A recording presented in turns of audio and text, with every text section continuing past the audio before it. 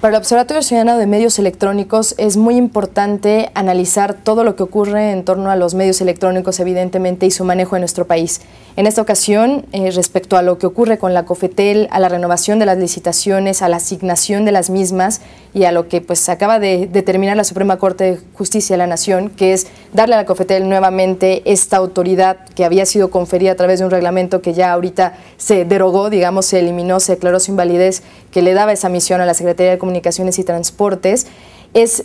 positivo tener claridad antes que nada. Sin embargo, lo que nos inquieta a nosotros como observadores, críticos, analistas de los medios es realmente el hecho de que la COFETEL sea un órgano independiente o no. Lamentablemente estamos notando una serie de acontecimientos, de hechos, de medidas, de propuestas que benefician tan solo a algunos medios de comunicación, sobre todo a estos grandes monopolios, a estos entes, a estas entidades que tienen, pues digamos que el espectro eh, cooptado, que lo tienen dominado, que lo utilizan para distintos fines, ya sea la telefonía celular, la televisión por cable, la televisión este, abierta, ahora la televisión digital, la radiodifusión todos, todos, todos los aspectos. Lo que nosotros eh, propugnamos y lo que nosotros deseamos es que haya una distribución equitativa,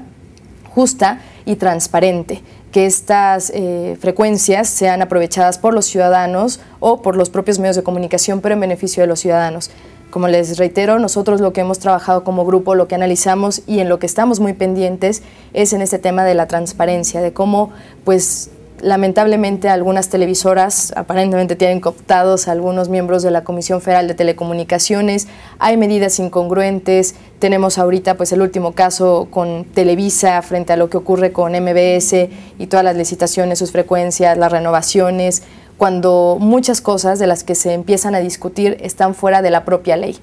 Lamentablemente tenemos todavía vacíos después de la ley Televisa, después de esta acción de inconstitucionalidad que presentaron los senadores y que la Suprema Corte pues aclaró y definió que sí había artículos eh, inconstitucionales que sí procedían, como se ha comentado en muchos medios, y todos aquellos eh, que nos ven y que conocen en torno a esto saben que uno de los puntos claves, algo toral, era la parte de las frecuencias, cómo se iban a asignar, cómo se iban a renovar.